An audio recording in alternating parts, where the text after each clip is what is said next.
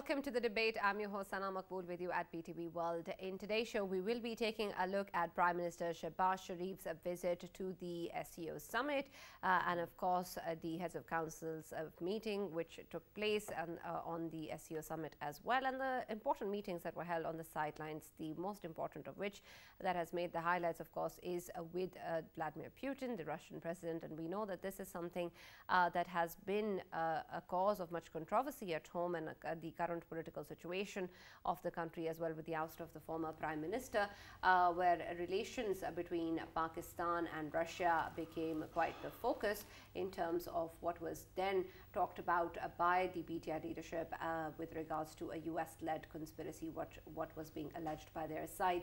Of course, these meetings uh, point out to the fact that Pakistan is, irrespective of the change in government, uh, quite willing to take it forward and wants to be able to engage uh, in friendly ties with Russia and make sure that they have an independent foreign policy, so to speak, um, which uh, is also evident in the fact that the Prime Minister Shehbaz also had a positive meeting with the Iranian president. Uh, the important discussion regarding the meeting with the Russian president came with regards to the gas pipeline and the possibility of taking this forward that was put forward by Vladimir Putin in terms of the infrastructure that already exists and how this can be taken forward in the next step in the dynamics of this relationship. How exactly is that going to happen? Uh, whether or not we're going to be seeing a sustained positive trajectory between Pakistan and Russia and how we're going to be balancing our foreign policy initiatives and interests with regards to our relationship with the US is what is going to be our focus in the first segment of the show today. Our next segment is going to take a look at what is going on in India with regards uh, to the crackdown on any sort of dissent or any sort of voice regarding uh, the political uh, issues or uh, highlighting the human rights violations against the, the people in Indian illegally occupied Jammu and Kashmir and other minorities within India as well, in which we've seen numerous voices uh, paying uh, the, uh, the issue with regards to what the BJP, of course, is doing and not allowing for any difference of opinion. Um, there is, of course, the clause present in the Indian Constitution for freedom of speech, but then, of course, we see that on ground what has been happening is completely different. Uh, and there has been uh, a lot of persecution and suffering for journalists and media outlets and uh, almost any and everyone who has raised their voice or criticized the government or talked about the human rights violations that exist, which include the use of the software Pegasus, in which we spoke about uh, previously as well, um, how this came to the forefront that this is something that has been used by India to be able to call out any sort of dissent, to be able to uh, put a crackdown on journalists and dissenting voices, and then, of course, uh, be able to even arrest uh, the, the, people that they think are disagreeing with the government's policies. Uh, this, of course, uh, moving forward, has somehow also been defended by the Indian administration, considering, of course, the statements that come in uh, regarding how they believe that media outlets are not responsible to call out the government or hold it accountable, and how, in fact, anybody who is raising their voice or ha has been persecuted is because it was an anti-nationalist agenda that they were following. So we're going to be taking a look at this particular development and what it means in terms of freedom of press within India. That is going to be our focus in the debate today. For this and more, I've been joined in the studios as always by senior analyst Farooq Pitafi and we've also been joined by Mr. Khalid Taimur Akram who's Executive Director Pakistan Research Center for a Community with Shared Future. Thank you very much for joining us in the studios. We've also been joined online by Professor Ahmed Uysal, Director of the Orsam Center for Middle Eastern Studies. Thank you very much, Mr. Ahmed, for joining us, and apologies if I did not take your name correctly. We'll, uh, we'll also be joined by Mr. Andrei Kortunov after a short while, who's the Director General of the Russian International Affairs Council, and him more with regards to the Prime Minister's meeting with the Russian President. Well, let me start with you, uh, Mr. Khalid. When we take a look at this particular visit and the significance, we discussed this yesterday as well, of what it means to be uh, part of this body in general and how the Prime Minister also emphasized on how it represents 40% of the world's interests and how it's an important platform for people to discuss bilateral and regional issues. Of course, the meeting with the Russian president is an important one, but we'll come to that. But in a larger scale, this meeting was also important in terms of highlighting the devastating floods that have been going on in the country, talk about climate change, something that the Prime Minister also tweeted about. Uh, but moreover, we want to understand uh, the significance of the time of this meeting and the impact that's going to have on Pakistan's renewed stance when it comes to foreign relations. Uh, yeah, thank you very much. Uh, first of all, uh, let me congratulate uh, the government of Uzbekistan and uh, the president of Uzbekistan, His Excellency Shavkat Mirziyoyev, for arranging and hosting such a big uh, uh conference. And uh, this is the first time after the post the post pandemic era that such a high level meeting is held. Uh, this SCO head of the state and head of the government uh, conference is basically an annual event which happens every year, but it has not happened since last two years uh, uh, due to uh, the COVID situation.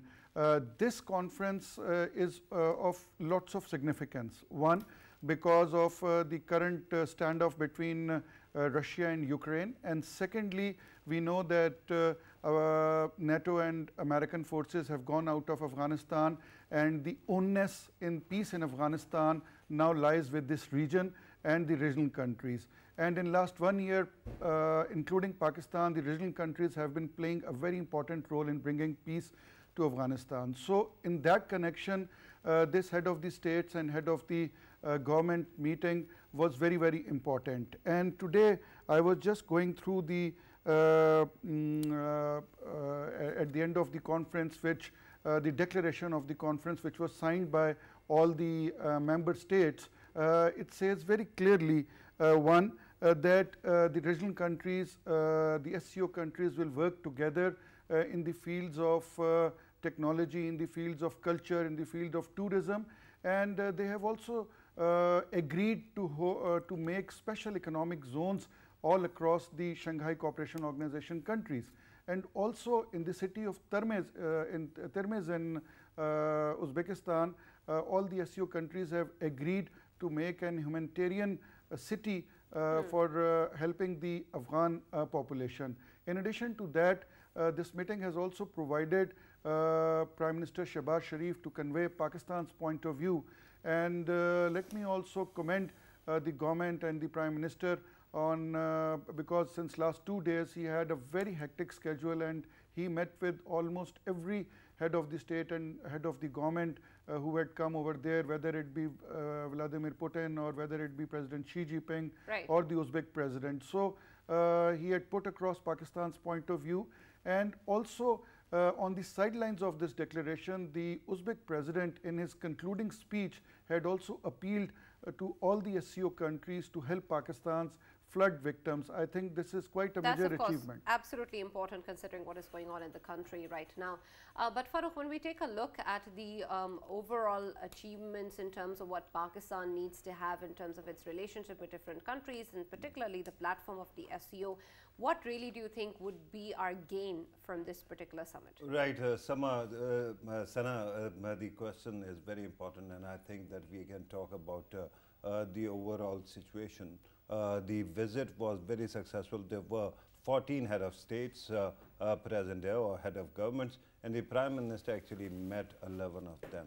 This is the highest record on this forum by any Pakistani leader. So that that is one thing, but of course there are many other important issues. There are issues that actually have been very close to Pakistan's heart. Uh, for example, climate change is now an issue, and the great news is that SCO has decided to form uh, a climate council that is going to come into being next year, right? Uh, similarly, transport, uh, you know, uh, summit is actually the transport co conference is also going to take place. Similarly, uh, uh, you know, when it comes to anti-terrorism structures, they have a mechanism called RATS, Regional Anti-Terrorism Structures. So they are going to assess their issues or their concerns as well in the coming days as well. Uh, and then we can talk about the uh, overall situation, the economic uh, trade integration as was pointed out by our worthy guest here. Uh, that is also going to be there. Uh, but mm. looking at the long list of meetings that the Prime Minister had, one has to actually take note of one meeting that did not happen last night. yesterday also we were talking about the importance mm. of that. It reminds me of another meeting where India or the then government actually dropped the ball. And that was on the sidelines of the UNGA when Prime Minister uh, Nawaz Sharif and Indian, uh, the then Indian Prime Minister Manmohan Singh met. And at that time, he was not allowed, the Indian Prime Minister was not allowed to actually, uh, you know, actually work on bilaterals or bilateral relationship and that was a missed opportunity after that Narendra Modi came into power. Mm. And now this time also it was a great moment when the two sides could have met and they could have found a even keel for the regional peace, mm. but that did not happen. That was unfortunate.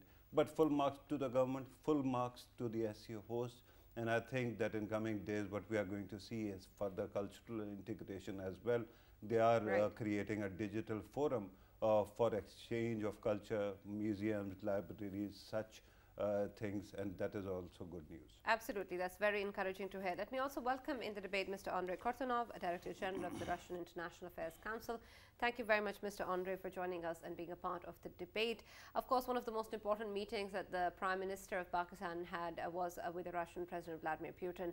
Um, and when we take a look at the kind of uh, political situation and dynamics that unfolded at home since the last visit of the previous Prime Minister, of course, that was also uh, something that came uh, in the international media as well in terms of what really uh, was talked about from the US side, the alleged conspiracy that was planned because of this. But irrespective of that, since of course that's been refuted, but at the moment when we talk about the kind of dynamics that exist and how Pakistan needs to evolve its relationships uh, with Russia, uh, there is of course the dynamic of the US that still remains. Um, and I'll talk more about that. But firstly, with specific regards to this meeting, there is of course the offer of the gas pipeline uh, from the Russian side and the fact that the current infrastructure already exists and that it's only a matter of taking it forward. Um, this, of course, was part of the meeting uh, that was uh, held on the uh, in, on the sidelines of the SCO summit. But moving forward, what do you think will be uh, the situation's uh, dynamic, and how exactly will this particular energy transaction or trade relations with Russia evolve? I think that uh, the meeting suggests that the importance of Pakistan for the Russian Federation is growing and indeed, uh, Russia is considering redirecting uh, its energy partnerships uh, from the west to the east and to the south. without Pakistan, it would be difficult to meet this objective. So it's natural that they discuss the pipeline. I think that the energy cooperation can go beyond the pipeline. Uh, they can uh, definitely compare notes on energy transition, on uh, renewables, maybe on atomic energy. Uh, so the agenda is quite broad, and I think the challenge is to make sure that it is not uh, uh, limited to summit meetings, but is converted into practical projects with both private and public sectors involved. Right. Uh, Dr. Kortunov, uh, uh, since we are talking about energy cooperation between the two countries, it is part of SCO's mandate as well. Uh, do you think that uh, despite the, the fact that there are many moving parts, for example, Afghanistan and uh, umpteen other issues there, uh, you think that this region will be able to work together and uh, pull together in coming days? Well, there are many obstacles, and uh, Afghanistan is one of them. We have also instability in some Central Asian countries, and that uh, might uh, put some of multilateral initiatives in jeopardy. But uh, where is the uh, will, there is a way. Uh, so I do hope that these obstacles can be overcome. And definitely such projects can benefit all the region, including countries in between, including countries like Afghanistan so we can uh, count uh, on uh, rational thinking in Kabul and in other places that would allow these projects to take off and to produce results uh, beneficial uh, to societies in these countries. Right. Right. Uh, independent of uh, you know uh, everything else, uh, we saw creation of a fund for Afghanistan as well. Do you think that it will actually work independent of UN and the US influences, or it is going to work in tandem with that? Well, I would like to see no competition between various funds assisting Afghanistan because the demands are huge, uh, and uh, definitely any actor interested uh, in working in this country will will find his or her place for doing so. but we know that the United States sometimes uh, politically loads uh, its assistance projects. So I think it would be wrong uh, to depend on the goodwill coming from Washington. if they can assist, let them get on the board and participate. Uh, if they pursue narrowly defined political goals, I think it will be up to the government of Afghanistan to decide whether the government is ready to accept this assistance or not. Right, absolutely. Um, uh, Mr. Emma, thank you for waiting so uh, patiently for this long. We only have Mr. Andrei Kortunov for a couple more minutes, so I'm just going to take one or two questions more from him and come back to you uh, with regards to this discussion. Uh, Mr. Kortunov, uh, there is, of course, the factor in from Pakistan's side regarding our dynamic with the U.S. Um, I want to understand what sort of a role or influence uh, will that factor in in our relationship with Russia from the Russian side as well. Well, uh, I think that uh, the ball uh, is uh, on the uh, uh, Pakistan side. Pakistan might be exposed to secondary sanctions by the United States if it pursues cooperation with Russia, especially in such sensitive areas as military hardware or, you know, high tech. So I think that Pakistan has to fine-tune its policies not to expose itself to excessive risks, but at the same time, uh, it doesn't have uh, to follow uh, every advice that comes from Washington. I hope that in the end of the day, the Russian-U.S. relations uh, will get stable, but I'm afraid that it will not happen too soon. So we face a bumpy road ahead, and this is something that should be kept in mind by all politicians all over the place. Right, absolutely. Uh, Mr. Kortunov, stay with us uh, for a few more minutes and I have more to discuss with you. But Mr. Ahmed, uh, considering, of course, this important uh, SCO summit and the meetings on the sidelines, another important meeting for Pakistan was with the Iranian president as well. And we, uh, of course, have the U.S. dynamic in this particular relationship as well moving forward. Of course, there's lots, lots of factors that Pakistan also need to take into account with Iran, especially with relation to counterterrorism efforts as well. What sort of an uh, evolution do you think between these two countries, considering that Pakistan wants to take forward an independent foreign policy based on its own national interest, uh, how do you see our relationship with Iranians develop with the U.S. dynamic? I mean, uh, of course, Iran is, uh, uh, first of all, of course, I have to explain my condolences and uh, my sympathies for the victims of uh, all these huge flooding and, you know, our hearts with, with the Pakistani people. Uh, really a big, big disaster.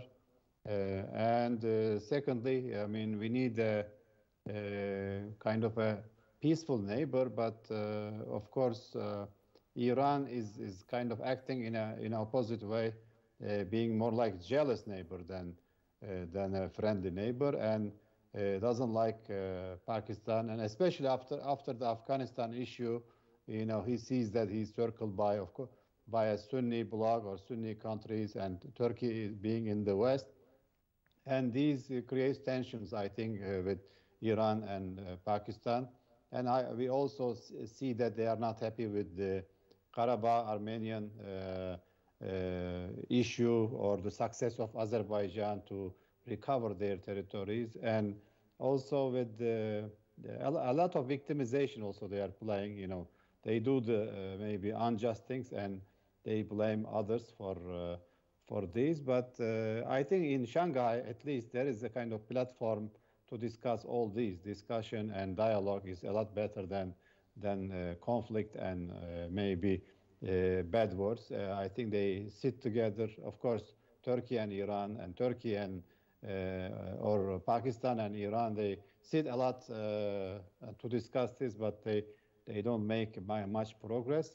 But at the end, we are uh, brothers and sisters. We are neighbors. We have a lot uh, positive if we share them uh, or win-win um, mentality should prevail and we have we can serve a lot we our people especially in this critical period of history with the ukraine war global conflicts etc we should uh, bring our acts, acts together and we are saying this to also saying this to the Iranians, but uh, you know they think differently. But I think they wake up. Absolutely. Yes. Thank you very much uh, for those sentiments. Uh, Mr. Kortunov, uh, the, uh, of course, factor with regards to counterterrorism efforts is also something which is very important to Pakistan, especially uh, with reference to what is going on in Afghanistan and even the recent spike in terrorist activities within Pakistan and the terrorist groups within Afghanistan at the moment. Uh, considering, of course, that uh, this was something that was appreciated in the meeting between the Prime Minister and Vladimir Putin as well, that uh, Russia's constructive role has obviously helped, and we welcome all international efforts to stabilizing Afghanistan. Moving forward, do you think that Pakistan and Russia can also collaborate with regards to counterterrorism efforts, especially in relation to Afghanistan?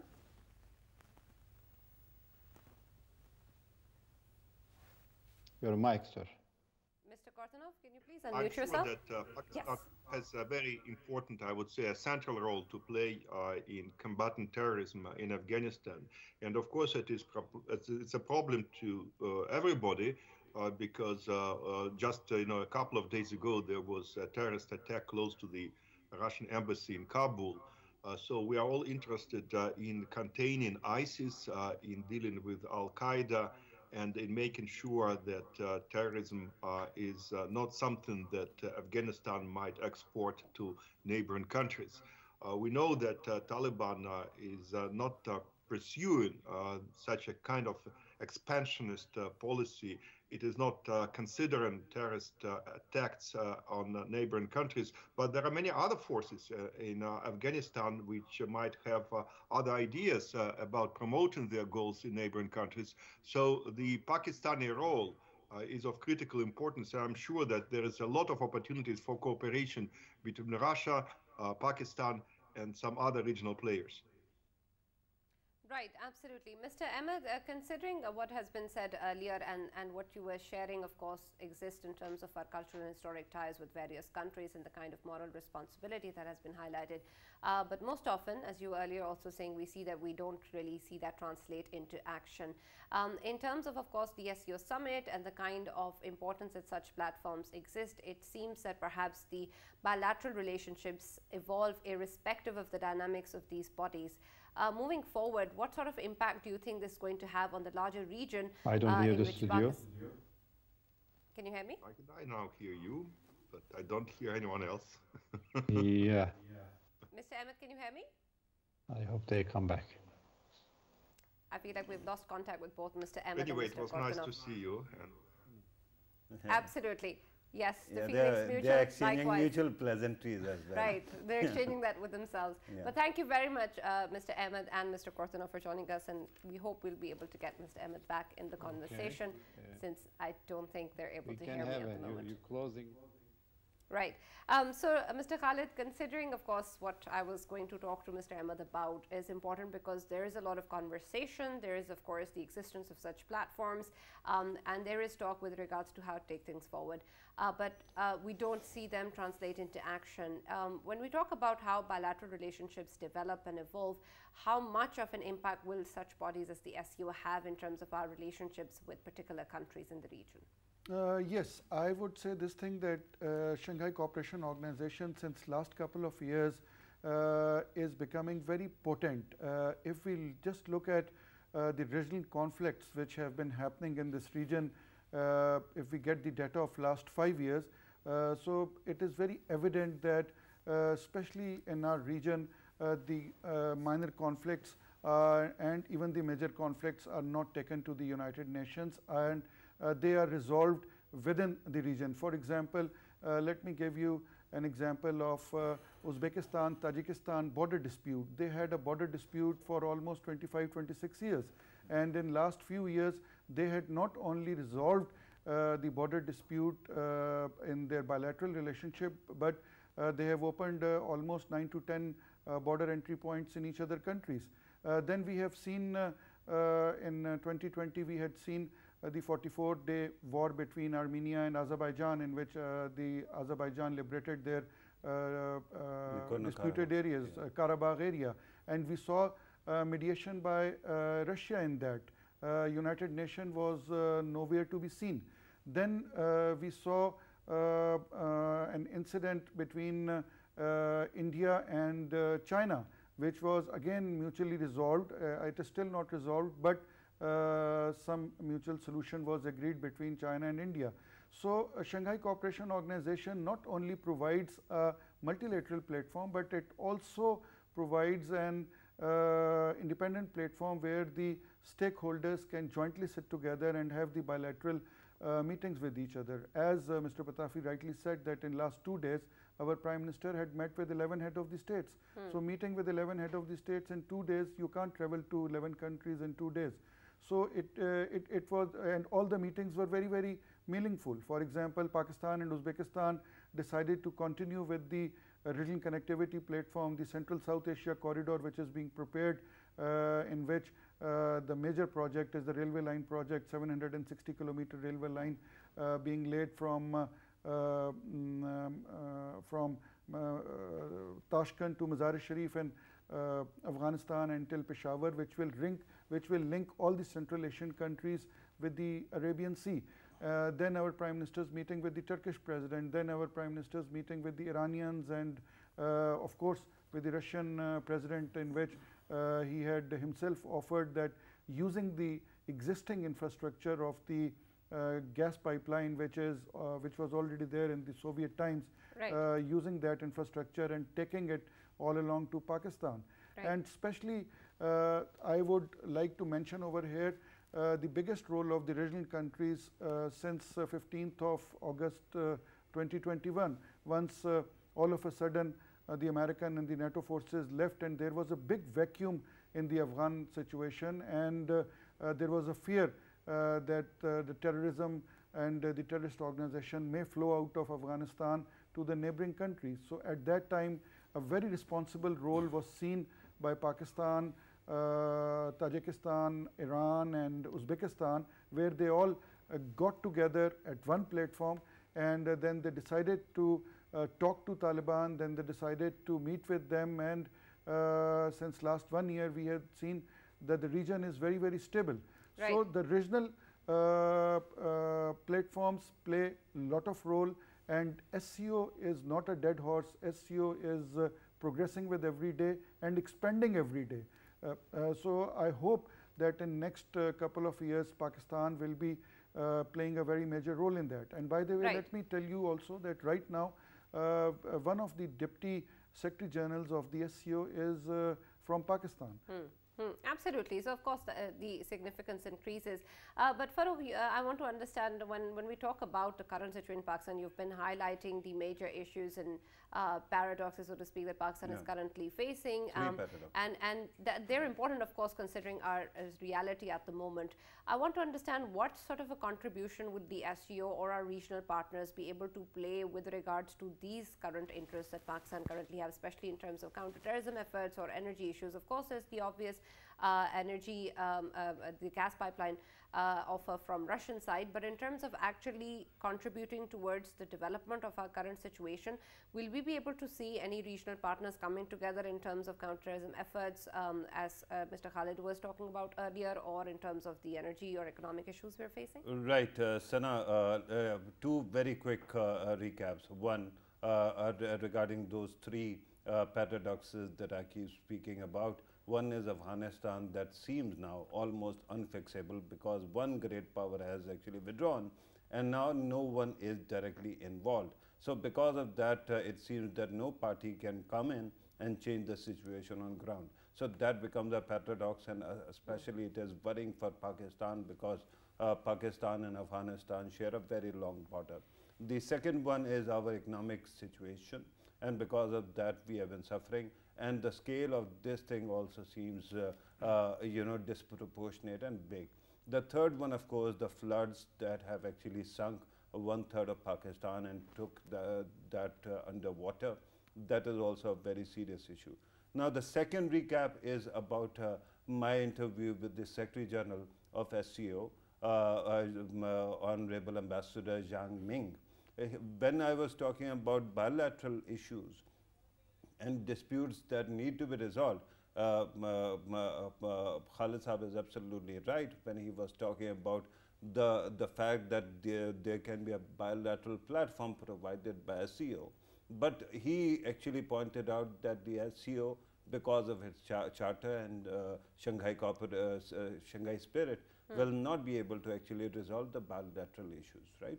Uh, so there is a limit to it. But they are, uh, look at how many countries and how important countries there are. For example, China is a part of it, right? China offers technological a breakthrough to all the countries. And in the immediate or later on as well, perhaps it can help all these countries find its, uh, their own technological feet. Uh, similarly, economically, China is investing humongously in these regions because of BRI, other projects as well. So that can also take off. Uh, then, of course, uh, when you talk about climate change, India and Pakistan share a border, and India and Pakistan are both victims of climate change. So that can also actually somehow be built up in coming days, provided the two sides actually start talking to each other. And uh, of course, uh, when you talk about the economic situation overall, um, I think Russia, China both can be great help. But right now the situation is such, you know, when you talk about our access to Central Asia, there are two routes that are available to us, right? One is Afghanistan, which is in bad shape itself. The other one is uh, Iran, which is highly sanctioned. So one has to actually hope that in coming days we are going to see at least some kind of resolution because the talks between Iran and the West are continuing despite all odds. Mm. Uh, so we can hope that perhaps there can be some softening of those sanctions so that Pakistan can get the access to Central Asia through Iran as well. And then of course we have to work on the bilaterals with India and Afghanistan because they are very serious issues and Pakistan has to actually con concentrate on that. I don't think that this uh, uh, categorization of uh, actually or denial that uh, SCO is not dead horse is going to cut it because SCO actually is so vibrant and full of potential mm -hmm. that it might actually have to underplay its own uh, significance right now because of uh, the way uh, the voices of propaganda continue in the West regarding the need for decoupling with China and somehow containing Russia and China as well. I think at this moment SCO will continue its uh, work without actually drawing too much attention to it, but it is the uh, cooperation of the next uh, uh, coming mm. decades. It is going to have but significant impact. Right. Farooq, when you, when you say Pakistan is focusing on its bilateral relations with countries like India as well, how exactly should Pakistan be able to proceed with that, especially when we talk about how the meeting didn't happen on the sidelines of the SCO yeah. summit? Uh, it was also said from the SCO side that it, the meeting wasn't sought by both the sides as well. Should Pakistan have done that? Uh, no, I, I don't think Pakistan should be actually seeking that kind of uh, a meeting at such a forum. I think Pakistani leaders repeatedly have extended uh, you know, calls for cooperation or dialogue between the two countries, and mm. that has been happening. The previous prime minister, the current prime minister, army chief, the president, and uh, heads of all parties, they have been speaking about this for quite some time. The problem is the other side, because they are so much involved with the optics of everything. Right. Every time there is a kind of, uh, you know, uh, some kind of blowbacks from the media, they pull back and they start acting, uh, you know, muscular. So at this moment, we'll have to wait and see how our other partners, may it be SCO countries, may it be other countries, uh, might be able to actually play a role behind the scenes to bring both sides on the table. But I think that there will have to be, there's only one country at this moment that is opposing dialogue between the two countries, that is India itself. And if uh, that country can also be convinced, at least to some extent, we can have some kind of, uh, you know, room to maneuver and to mm. room to actually build on. Right, absolutely. Um, Mr. Ahmed, um, I hope you can hear me and we can hear you this time around. Um, there was some confusion uh, the, pre the previous time around and we lost Mr. Ordig Kotonov uh, at that point. I might have jinxed this right now when I yeah. say this. But, Immediately. Um, hopefully, hopefully we'll be able to still get some something out of Mr. Ahmed. Um, considering what we have, what has been said earlier with regards to the kind of cultural, historic uh, bonds that we have with different countries, that that brotherhood is important, and I can understand uh, the, how it factors in our relationship with various countries. Uh, but there are issues on a regional and local level as well that perhaps different countries uh, across the region experience, uh, such as issues of Islamophobia. Um, when we talk about this at home, of course, it, it means a lot to Pakistan, as was also uh, talked about in the campaign by the previous leadership as well at the United Nations and other fora. Um, but when we take a look at the individual ways that different countries take uh, uh, not just Islamophobia, but perhaps other issues, other conflicts, um, other factors that are important to Pakistan may not be the same in other parts of the world. If we don't have an alignment uh, over the way that we look at various views, how do you propose that we are able to move forward in terms of a unified approach to tackle them? Yes, we have major challenges. You, do, you don't have a good uh, uh neighborhood or uh, a lot of problems around from India to Afghanistan and Iran is not also cooperative as we as we said. Also great powers uh, are not very helpful also. Uh, uh, Pakistan also living suffering from terrorism as well as floods and all this. And this is a big challenge, of course. We need to be cooperative more and Turkey managed to achieve a certain degree of stability and uh, prosperity or development, even though we have challenges, but it is stable. And Pakistan is a very, uh, I mean, significant uh, Muslim country. We cooperate in all platforms from the Islamic cooperation and others, uh, and uh, we have uh, similar problems also. And so moving forward without, I mean, backlash or without setback, Turkish-Pakistani cooperation is very critical. As a center also, we, we try to emphasize the Pakistan. I mean, Uh, Pakistan should not fall from Turkey's radar, um, even though we have uh, several problems in our region with Greece, Armenia, all this, and uh, Syria with the PKK and Americans. unfortunately, we, we are you know, challenged by all this, but at the end, we, if we uh, you know, help each other sometime, even morally, you know, just being next to next to your friend or your brother means a lot. And in this uh, situation, Absolutely. Turkey, and, uh, and, yes. And we hope that leaders around the world uh, share the way that you think as well. But thank you very much, uh, Professor Emil, for joining us and being a part of thank the you. debate. Uh, we'll talk now about the uh, situation with regards to uh, what is going on within India in terms of the crackdown on journalists and any uh, person who has a different opinion than the BJP and calls out the government for its actions, be it human rights violations or its decisions with regards to minorities within India. Mr. Khalid, this of course is an important factor considering how we have seen the situation deteriorate even further um, and uh, not having any room or space uh, to uh, be able to say what is happening uh, or to support the victims of human rights violations or criticize or hold the government accountable for its actions. And that's an important job for of media outlets and of journalists. But it doesn't seem to be the case or the emphasis given by the Indian administration for this important pillar.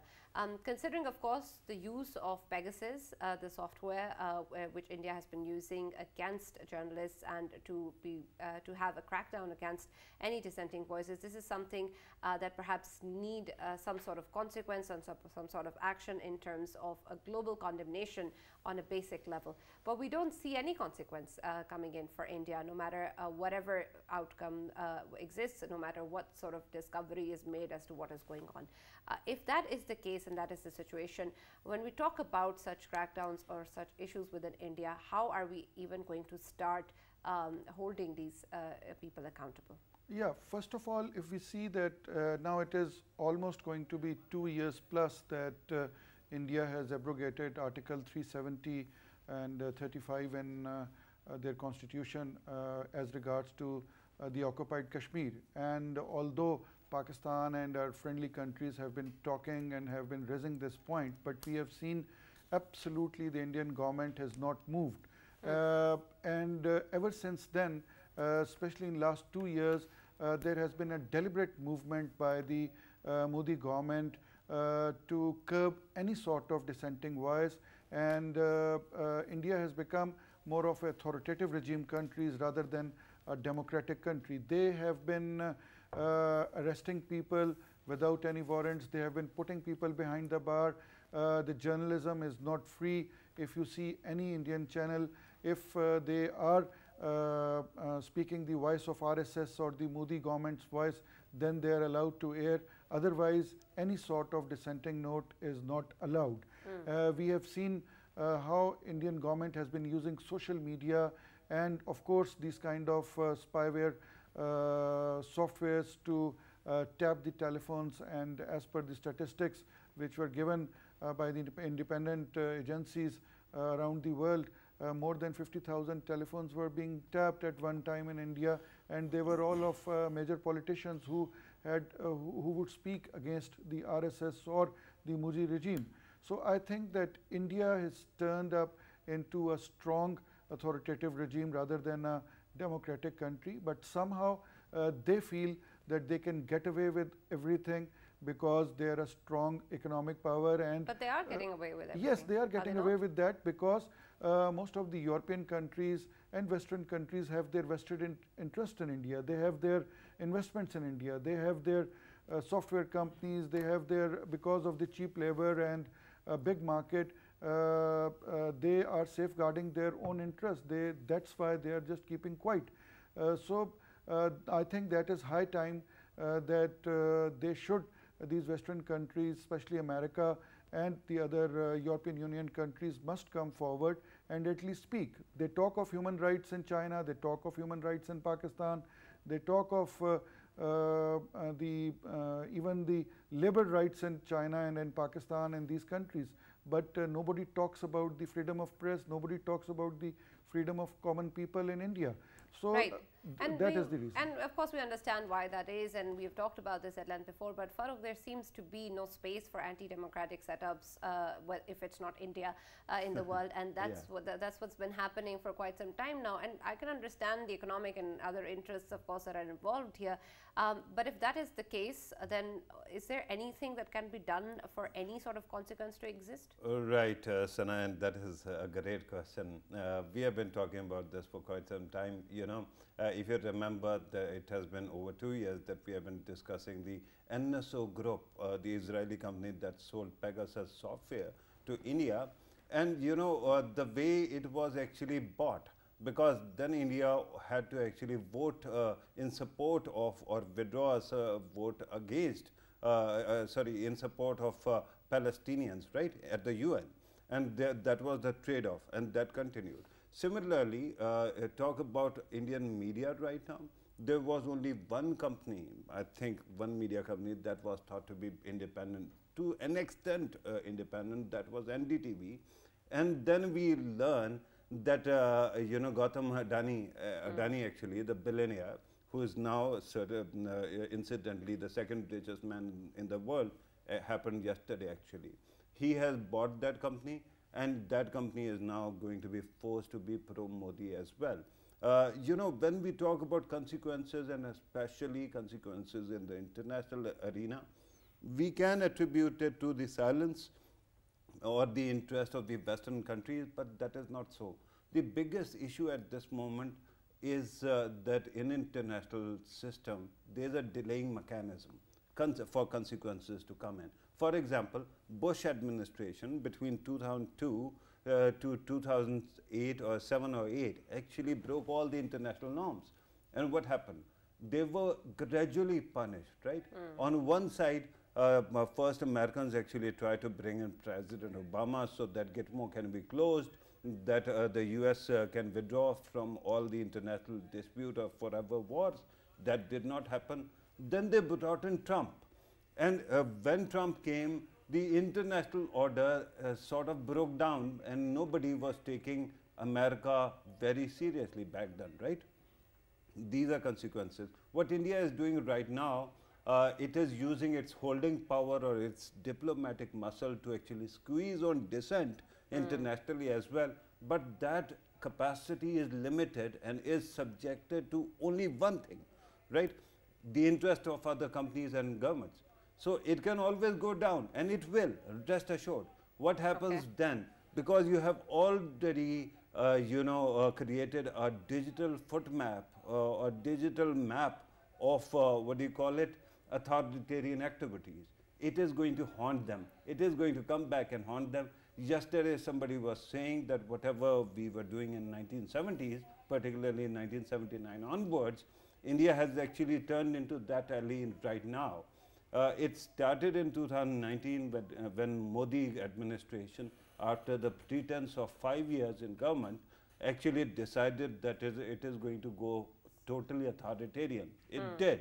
So I assure you that I don't know whether Narendra Modi is going to once again be returned in 2024 or not, mm. or whether his party is going to be returned. But I assure you, whosoever is going to be in power in 2024 is going to be punished by everything, by uh, through the digital media, through international whisper campaigns, and then the pressures as well. Okay. Finally, one word, uh, one more uh, uh anecdote regarding Twitter Twitter recently uh, sued, uh, you know, uh, Indian government.